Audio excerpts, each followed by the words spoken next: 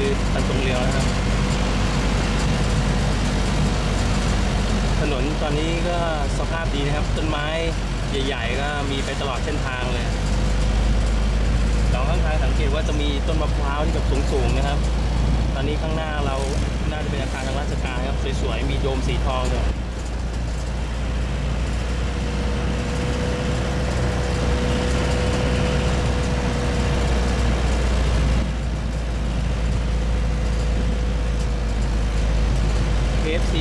มากครับผมเป็นอาคารแบบสี่ห้าห้องเลยโรงหนังก็เยอะนะครับ เดี๋ยวคืนนี้อาจจะต้องจบที่หนังอีกสักเรื่องหนึงก่อนนอน นี่ก็เป็น hotel นะครับ hotel เยอะมาก star ซูเปอร์มาร์เก็ตบาก้านะครับ อันนี้เป็นซูริก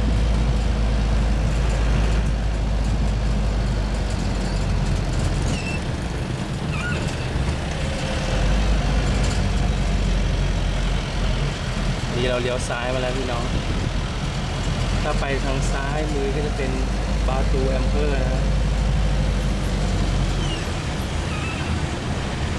สังเกตรถที่ครับมอเตอร์ไซค์นี่ป้ายทะเบียนจะยาวๆตัวอักษรจะมี 3 ช่วง